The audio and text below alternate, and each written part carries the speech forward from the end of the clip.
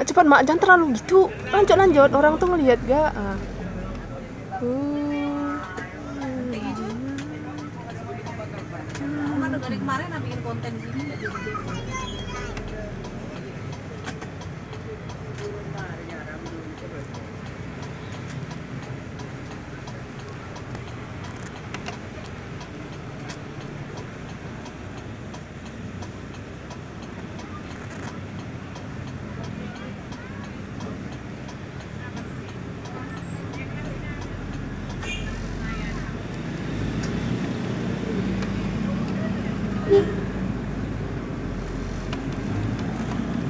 Tara na.